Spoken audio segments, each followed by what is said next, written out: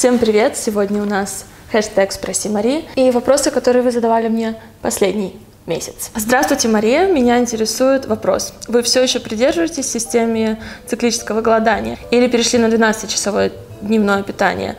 Если перешли, то как это сделать без вреда организму, чтобы для него не было шока и чтобы потерянные килограммы не вернулись? Надеюсь, вы поняли суть моего вопроса. Заранее спасибо за ответ. А вторую, возможно, не очень. Первую, да. А, я сидела на циклическом голодании. Сколько? Я даже не отчитывалась, честно несколько месяцев, наверное. Я помню, что это была зима, было холодно. Но что я заметила, что во время циклического голодания мне стало еще холоднее. И что я сделала? Погуглила. я о, Google мой враг. Что во многих источниках, о, источники тоже мой враг, говорилось, это то, что для девушек свойственно вот это холодание во время голодания. И что иногда девушкам лучше меньше голодать, чем тем же самым парням. Не сказать, что я увидела какие-то сногсшибательные результаты в плане фигуры. Мне кажется, я похудела, просто отказавшись от сахара по большей части. То есть, когда убираешь сахар, а ты убираешь его из всего что есть в твоей жизни, то, пожалуйста, килограммы сами уходят, сантиметры сами уходят. Даже тут есть, кстати, вопрос про лидюре. Отказавшись от сахара, ты перестал ходить лидюре или лидюре исключение?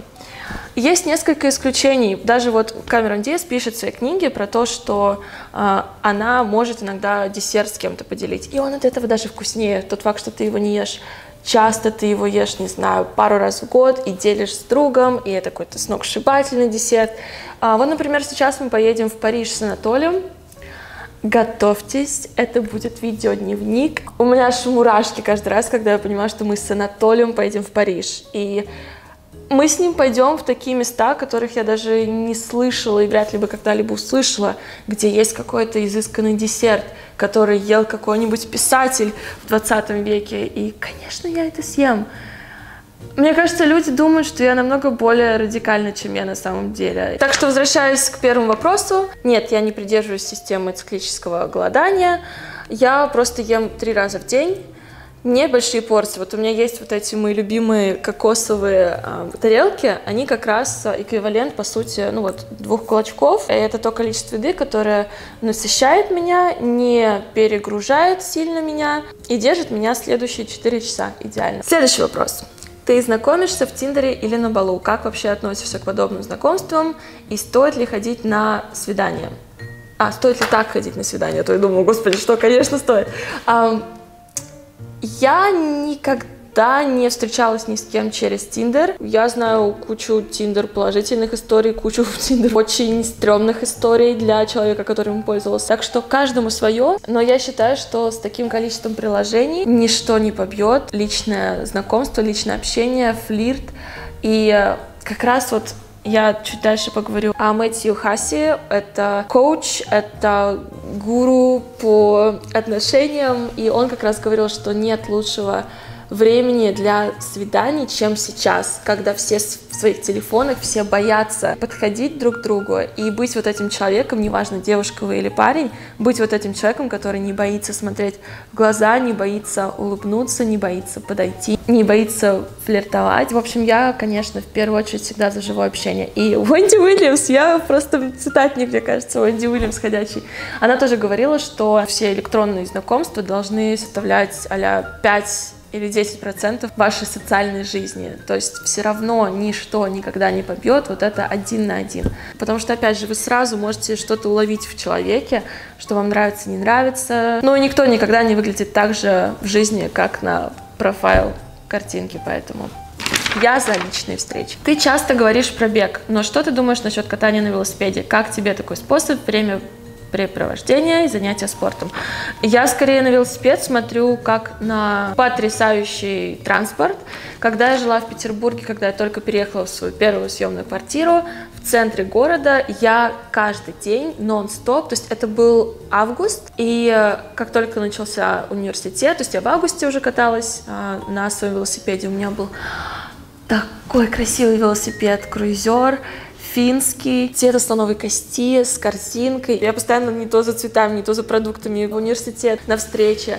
А, я очень любила это, хотя имея круизер, пока у вас не будет круизера, вы не поймете, какая боль иметь круизер, когда он весит, как ты, и когда у тебя нет лифта, и нужно его поднимать на третий этаж. Самое сложное в том, когда у тебя есть велосипед, это вот это постоянное понимание, постоянная головная боль, что у тебя могут его украсть. Когда дело касается Нью-Йорка, Лондона, а, здорово на велосипедах кататься, съемных, потому что ты же не будешь в городе, в который ты приезжаешь на неделю, покупать велосипед.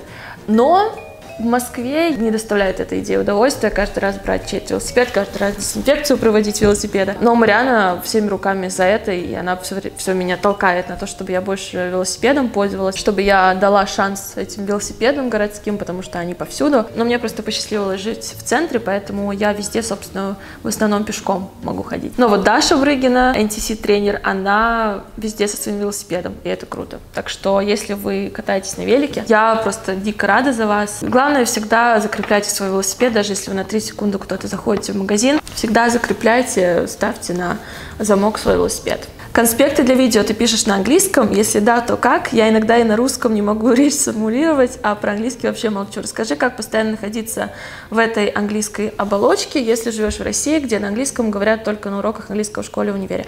Во-первых, э, Начинать нужно со своего языка. Мой друг недавно сказал, что он решил посмотреть YouTube, и он, он был весьма неприятно шокирован, что просто деградация идет языка, что 99% просто перестали говорить на русском языке, и дело даже не в англицизмах, дело даже не в том, что, как я, например, да, часто формулирую свой, свои предложения так, как я бы и на английском это формулировала.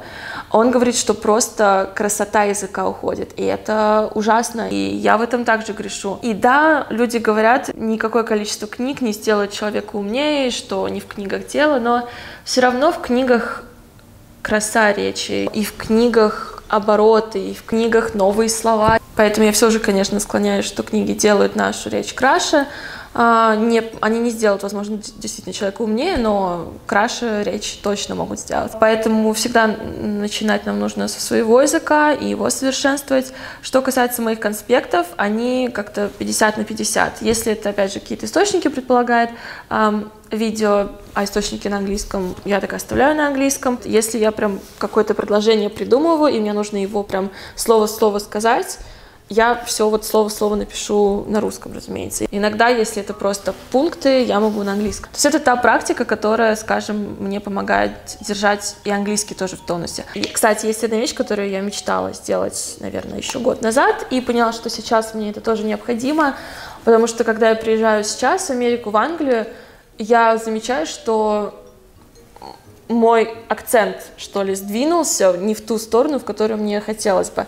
Во-первых, я никогда не была фанатом того, что у меня очень американский акцент, а наоборот, мне, разумеется, всегда хочется иметь английский posh accent, потому что если у меня будет британский акцент, я не заткнусь потому что это самая красивая речь, которая, мне кажется, возможно иметь. Это и французский для меня. Так вот, я сейчас а, рассматриваю курсы и личных а, один на один преподавателей, которые просто будут над акцентом работать моим. Так что это всегда круто развивать свою речь, как свою, так и иностранную, но свою в первую очередь нужно разбивать. Мне, кстати, в детстве очень помогали книги а, про Шерлока Холмса. Я до сих пор помню, это удивительно, насколько отпечатывается такая мелочь. Я не знаю даже, сколько мне было, 10 лет, но я впервые тогда прочитала слово «коренастый». Возможно, это была собака Баскервилей.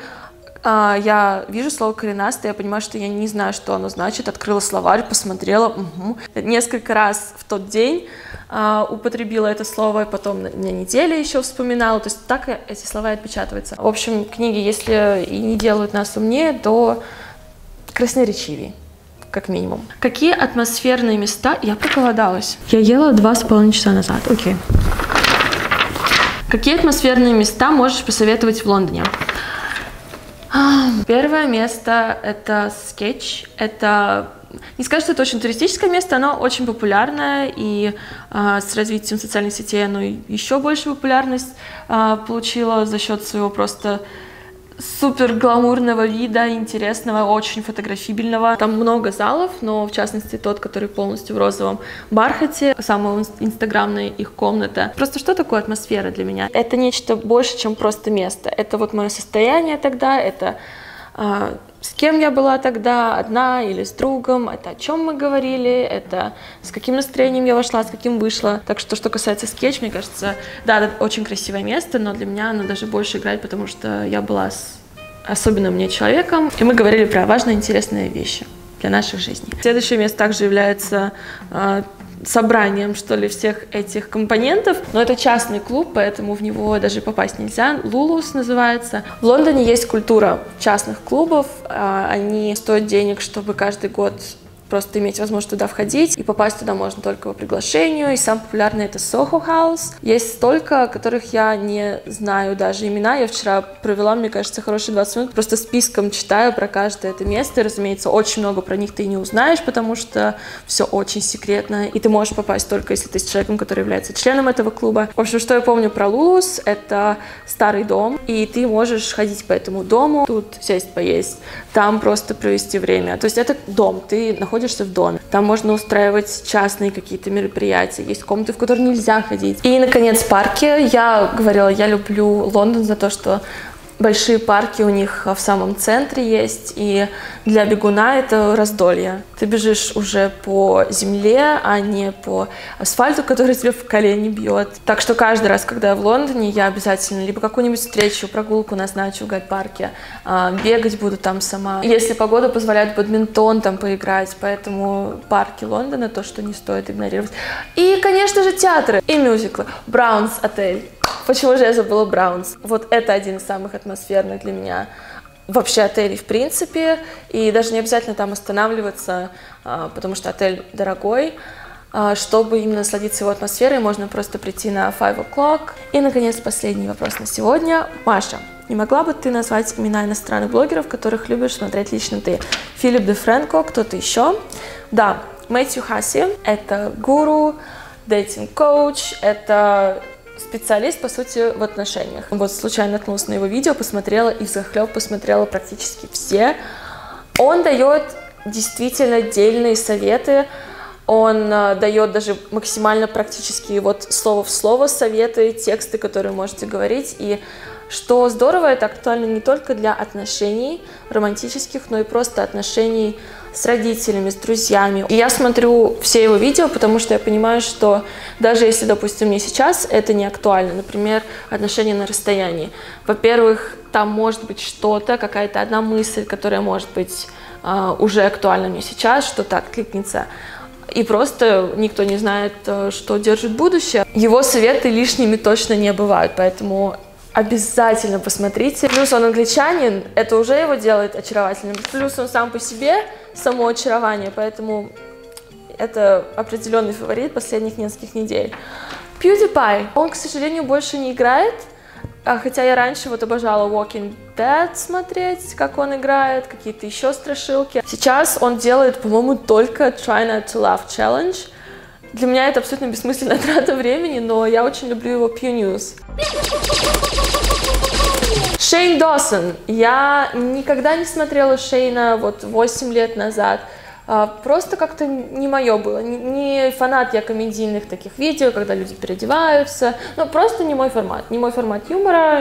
Визуально мне никогда это не нравилось. Но то, что делает Шейн сейчас с его документальными, мне даже не хочется говорить видео, а, фильмами, и как он это серийно все делает, и как он много подготовительной работы делает, и как он может сблизиться с человеком, с которым он делает видео. Последнее, что я видела, это Джеффри Стар. Хотя я не знала ничего о нем, но документальный фильм показывает и его самые темные стороны, и его прошлое, и э, его настоящее, как он себя ведет на работе, это захватывает. И я выставила в Инстаграм, и мне сразу стали писать люди, что ой, да ты ничего о нем не знаешь, вот э, он такой расист, он такой сексист. При этом люди сами не смотрели этот документальный фильм. Так я это знаю, ровно как Джо, э, который снялся в рекламе Ичибан помады для мужчин, знал, что Чендлер не смотрел это видео, потому что, когда ты смотрел это видео, ты не будешь такие обвинения в него кидать, в Джеффри Стар, потому что в фильме об этом говорится. И э, Джеффри говорит о том, что это было самое глупое, что он делал. И он рассказывает, почему он это делал. И, ну, это здорово. Вот про что я еще смотрела у Шейна, про Тенекон. И просто это апофеоз YouTube-драмы, но это тоже интересно. Шейн Досон — это, мне кажется, сейчас король Ютуба, вот того Ютуба, который я хочу видеть. И, наконец, это не иностранный блогер, а русскоязычный, Катя Дулаева. А Ее люблю смотреть просто за стиль жизни, за рецепты. Катя очень светлый, добрый человек. Я это говорю именно по личному опыту общения еще, а не просто по картинке. И она в киноузе училась, поэтому если вам интересно еще послушать а, опыт человека, который более практическую сторону этого изучал в университете, в отличие от меня, потому что у меня было больше теории, практика была в основном именно в Америке, но тоже не настолько впечатляющая, а, как в более, опять же, практических вузах, то я вам советую канал Кати. Мне кажется, сто лет он не давал никаких рекомендаций. И это все вопросы на сегодня. Как всегда, оставляйте свои вопросы с хэштегом «Спроси Мари», потому что только так я смогу их увидеть в конце месяца, когда буду делать новый выпуск. Ну а так, я надеюсь, что вам понравилось сегодняшнее видео, и увидимся с вами завтра. Чао!